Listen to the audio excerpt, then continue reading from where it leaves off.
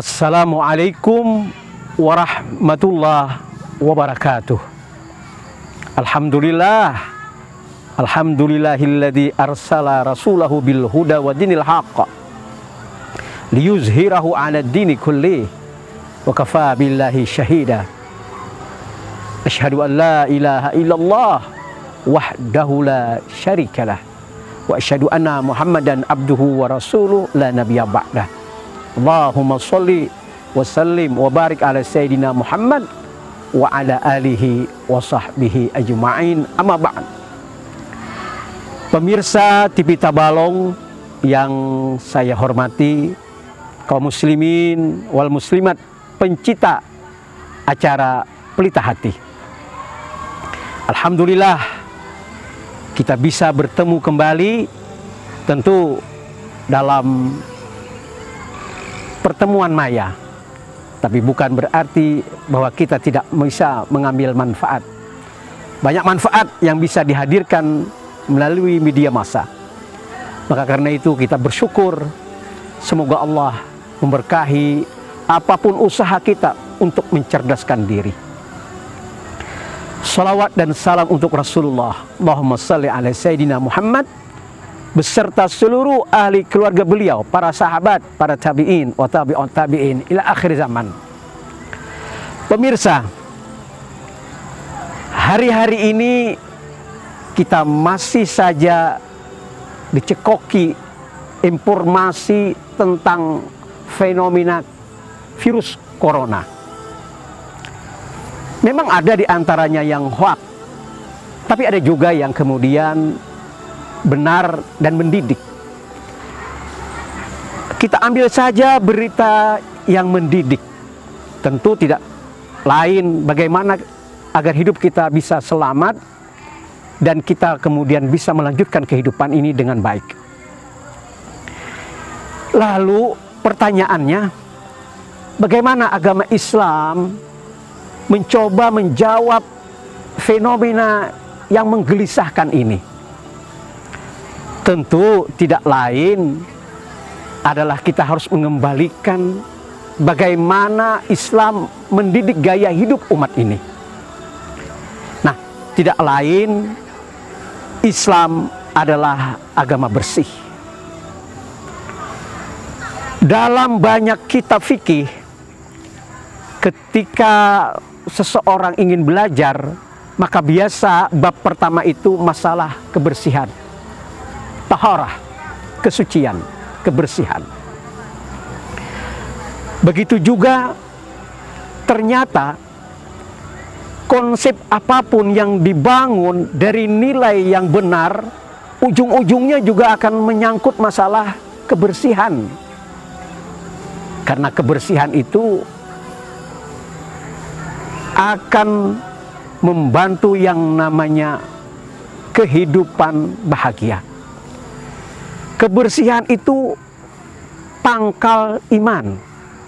Menurut hadis Rasulullah yang diriwayatkan oleh Muslim, potongannya saja kita ambil. At-tahuru syatrul iman. Kebersihan itu pangkal iman. Lah iyalah kita bicara masalah iman berarti bicara masalah kebersihan. Masalah hati yang harus dididik agar dia menjadi bersih sehingga menjadi tempat yang nyaman untuk menyalurkan berbagai macam keberimanan kita, keyakinan kita kepada Allah dan hal-hal yang memang menjadi rukun iman. Maka karena itu kita coba awali saja dengan surah Al-Baqarah ayat 222. Bismillahirrahmanirrahim. Potongannya saja juga. Innallaha yuhibbut tawwabina wa yuhibbul mutatahhirin. Sesungguhnya Allah mencintai orang yang bertaubat dan orang yang bersuci.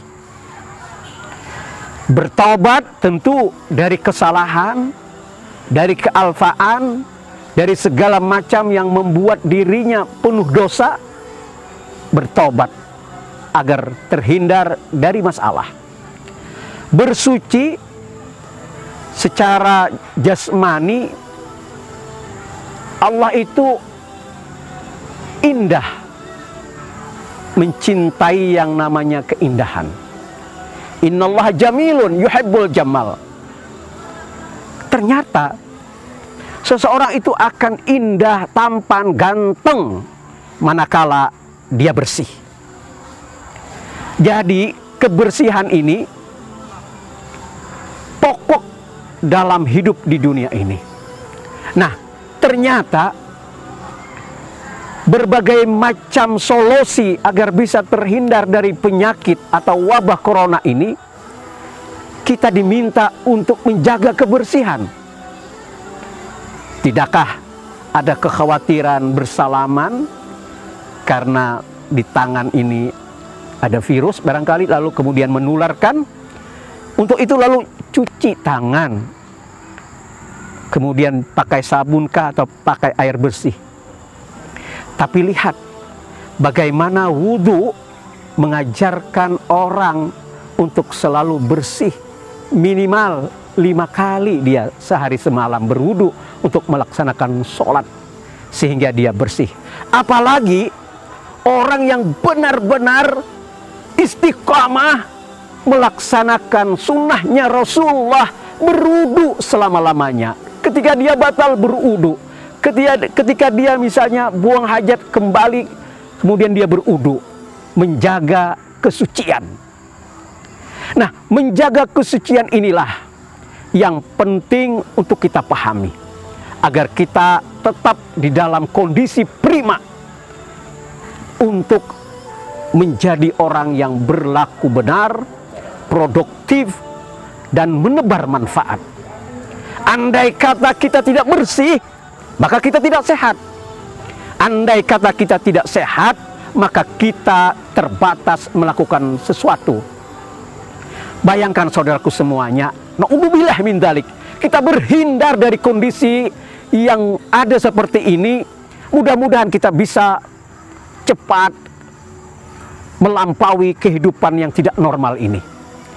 Kita khawatir kalau kita akhirnya terpenjara dan penjaranya itu adalah di tempat di rumah kita masing-masing. Kita tidak bisa lagi bersilaturahmi tidak lagi bisa berhabluminan nas kita bersama mampu mencegah corona ini semakin merebak asal saja kita kembali kepada aturan-aturan Allah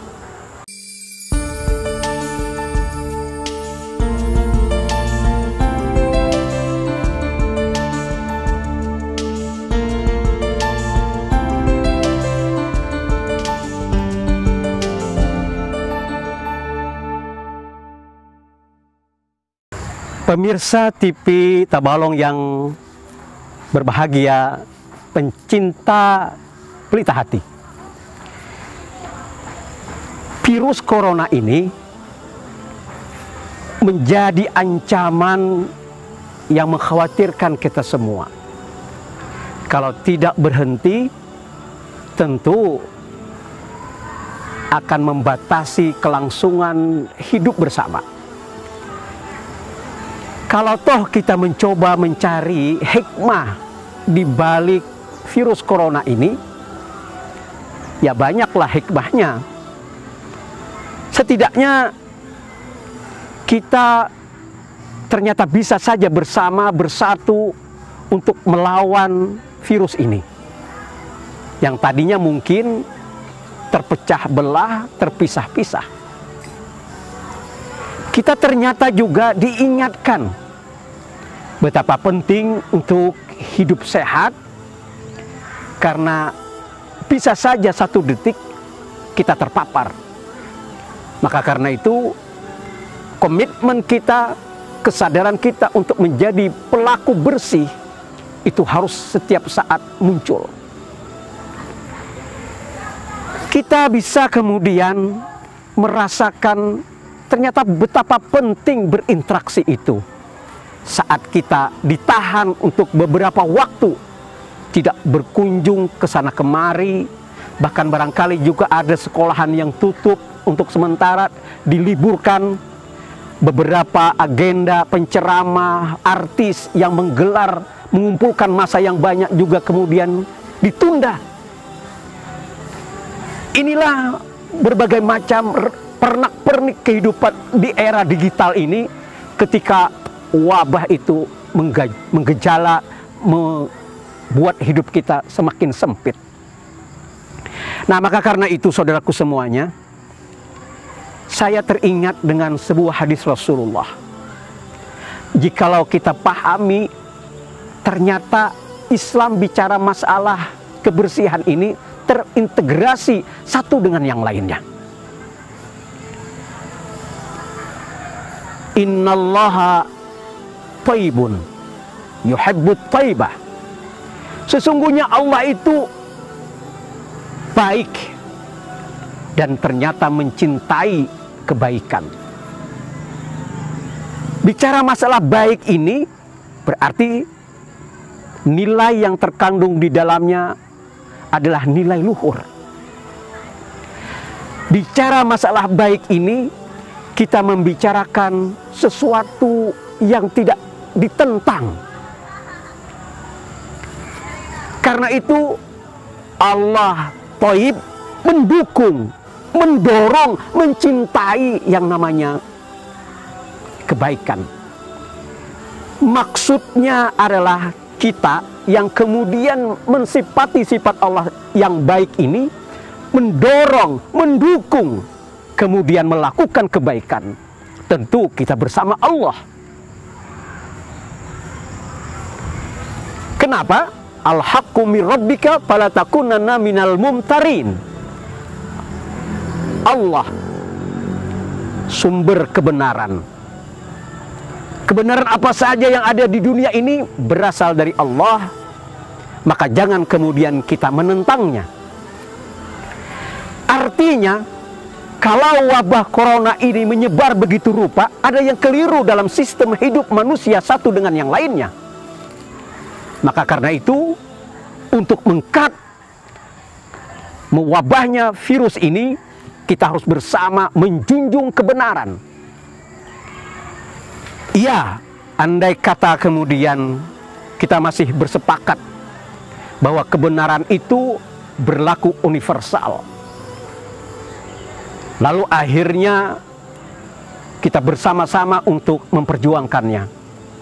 Tapi agama kita ini mengajarkan kepada kita bahwa likuli dain dawaun setiap yang namanya penyakit pasti ada obatnya. Maka prediksi bahwa virus ini ada obatnya kaum muslimin yang memang memiliki amanah untuk mendebatkannya kemudian melakukan penelitian harus menemukan obatnya tapi andai kata misalnya penyebaran ini dikhawatirkan di tempat-tempat kumpulan massa, lalu akhirnya kalau sholat berjamaah Jumat itu kemudian dikhawatirkan menjadi tempat tersebarnya virus ini, agama pun lalu akhirnya tidak mewajibkan sholat Jumat lalu menggantikannya dengan sholat zuhur. Beginilah fatwa yang baru dikeluarkan oleh Majelis Ulama Indonesia. Tapi ingat, bukan berarti menjadi alasan karena malas lalu tidak sholat takut virus corona ada di berbagai macam tempat umum. Tidak. Karena itu, ketika memutuskan bahwa sholat Jumat bisa diganti dengan sholat zuhur di tempat masing-masing, asal saja memang terbukti bahwa di tempat itu ada virusnya dan yang membuktikannya adalah instansi yang memang berwenang. Saudaraku semuanya, kita lanjut. Dengan kata Rasulullah Sallallahu Alaihi Wasallam, Nazifun yuhibbun nazafah. Allah itu bersih dan mencintai kebersihan. Luar biasa hadis ini memotivasi kita menjadi orang yang benar dan mencintai yang namanya kebersihan. Karena kebersihan itu terkait terintegrasi dengan kebenaran. Kebenaran itu akan semakin nyaman dibuktikan dan dinikmati oleh orang manakala unsur kebersihannya juga ada. Lihat, contoh kita ambil bahwa makanan itu halal seperti kerbau, unta, domba halal untuk disembelih dan dimakan. Cuman hati-hati. Menyembelihnya harus di leher. Darah harus tumpah. Tubuh dari hewan itu harus mengeluarkan darah, bahkan darahnya harus darah yang banyak. Agar apa? Agar bersih. Jadi barangnya sudah halal, tapi juga harus bersih dari berbagai macam kandungan penyakit yang memang mengalir di darah. Luar biasa, subhanallah.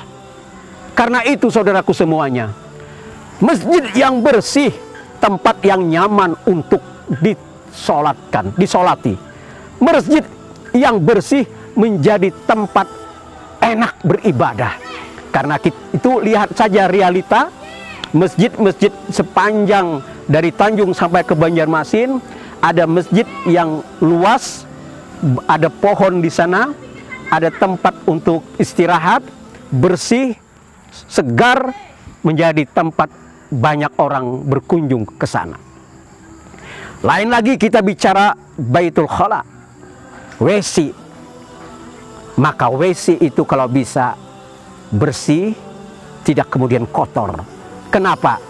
Karena kotor itu membuat penyakit sehingga naudzubillah min dalik jangan sampai kita melakukan perbuatan sunnah masuk dengan kaki kanan, kaki kiri, keluar dengan kaki kanan, tapi kemudian kita berpenyakit di dalamnya. Tidakkah kemudian meludah di dalam WC sebuah aturan makruh dari Allah, dari Rasulullah agar siapa pun yang berinteraksi dengan Baitul Khala selalu dalam keadaan bersih. WC-nya bersih, dirinya pun juga bersih.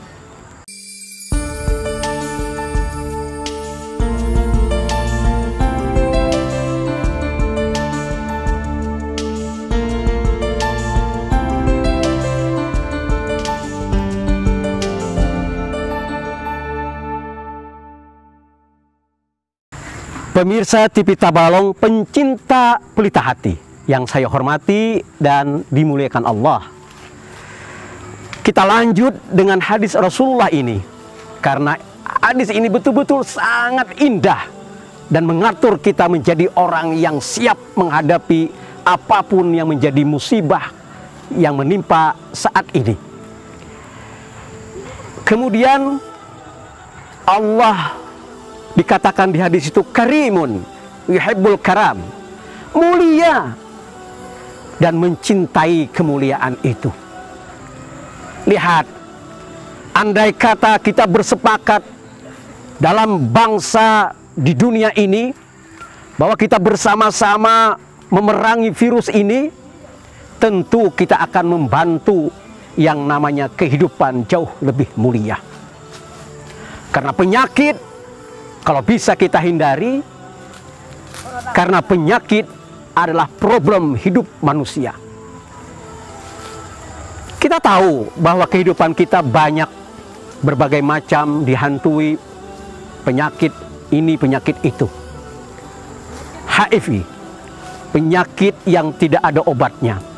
Maka kita bersepakat untuk tidak melakukan hubungan zina ataupun pergaulan bebas tanpa nikah ketika kita dihantui oleh virus flu babi kemarin itu, maka kita harus waspada dan hati-hati bagaimana kemudian mengelola kehidupan ini beserta dengan hewan yang menjadi peliharaan kita.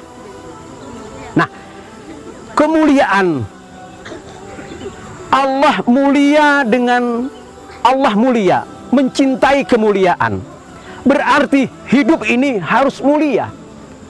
dan kita harus mendorong kemuliaan itu tercipta dalam kehidupan kita.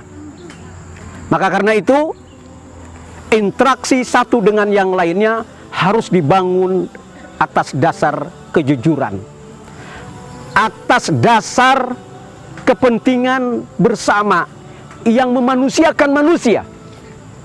Maka jangan ada di antara kita saling zalim menzolimi. Jangan ada dusta di antara kita. Kenapa? Karena apabila berhubungan satu dengan yang lainnya tidak kemudian mendorong kemuliaan, maka tentu kita akan menzolimi, tentu akan ada penistaan. Semua orang, bangsa mana pun, itu kedudukannya sama di mata Allah. Yang membedakan itu hanya takwa. Inna akramakum innallahi atqakum. Begitu tandas Allah sebelumnya mengingatkan bahwa manusia itu tercipta dari berbagai macam jenis laki perempuan, suku dan bangsa. Semuanya saling mengenal, memperlihatkan apa yang menjadi andalan produk. Tapi kemudian itu bermanfaat bagi kehidupan. Lalu akhirnya produk ciri khas manfaat yang ditebarkan dalam hidup ini didasari harus karena ketakwaan kepada Allah. Mulialah hidup kita ini. Kenapa? Karena tidak ada saling curiga, tidak ada saling menindas. Saudaraku semuanya, tidakkah virus corona ini membuat sekat yang semakin dalam antara satu dengan yang lainnya? Kita curigaan dengan orang. Padahal dia tidak sakit terpapar virus corona, cuman sakit biasa, batuk biasa, demam biasa. Toh juga dicurigai bahwa dia menebar virus. Nauzubillah min dalik. Maka karena itu fenomena ini adalah fenomena yang harus melibatkan kita semua di dalam memuliakan kehidupan ini. Jangan kemudian lalu akhirnya merasa diri lebih hebat, bangsa yang lebih sempurna, sementara bangsa yang lain dihina, direndahkan, dan tidak berkualitas, tidak. Kita sama-sama makhluk Allah, maka mari kita berusaha untuk berlomba menawarkan kehidupan yang baik dan mulia. Selanjutnya, Jawadun yuhibbul juda. Allah itu bagus dan mencintai yang namanya kebagusan atau yang baik-baik. Ini saudaraku semuanya terkait dengan semakin mendekati yang namanya keindahan. Jadi apabila sudah mulia, apabila sudah bersih, sebelumnya juga benar, maka tiga komponen ini itu akan membuat kita semakin cantik, semakin ganteng.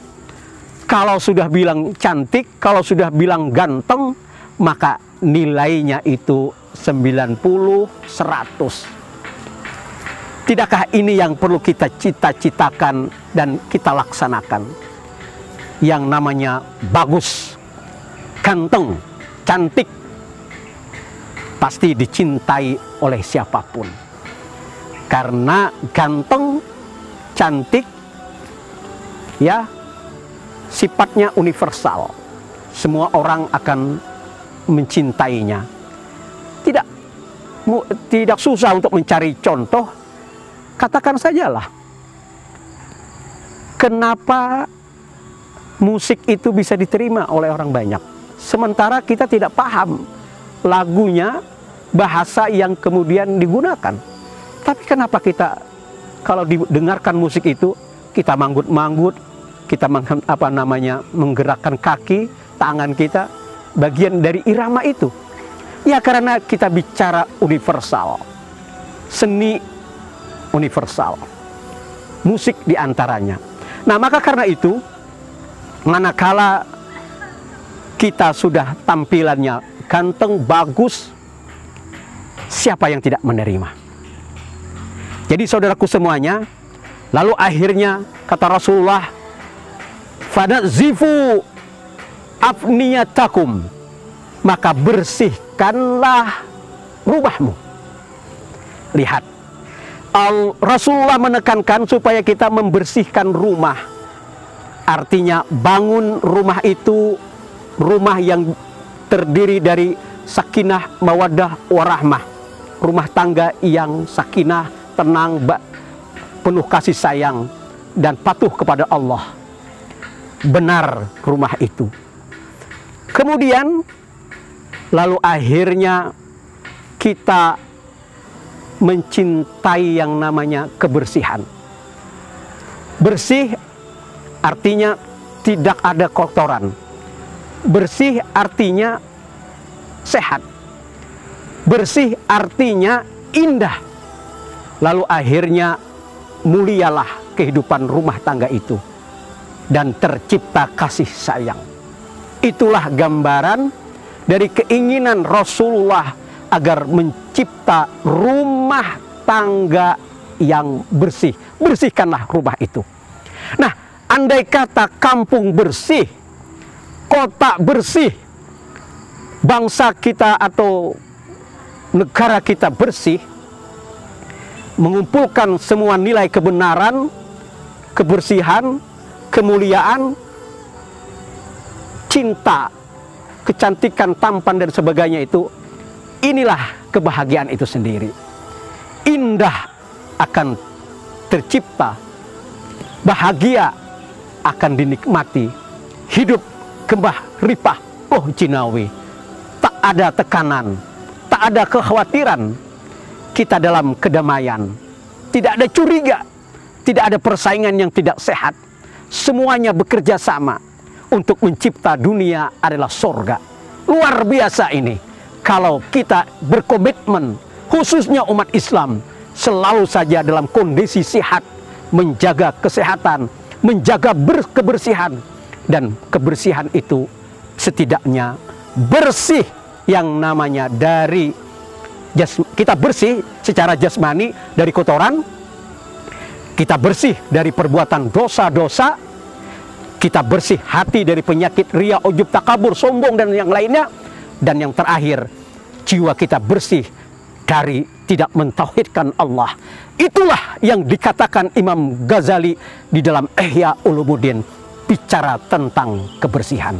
Mudah-mudahan apa yang bisa saya sampaikan ini bermanfaat bagi kita semua, khususnya tenangkan diri kita dalam menghadapi musibah masal ini sambil bertakarub kepada Allah, berzikir, bersalawat, dan tentu menegakkan sholat. Sholat tidak akan bisa tegak tanpa wudhu. Wudhu bicara kebersihan. Demikian, mohon maaf. Wassalamualaikum ورحمة الله تعالى وبركاته.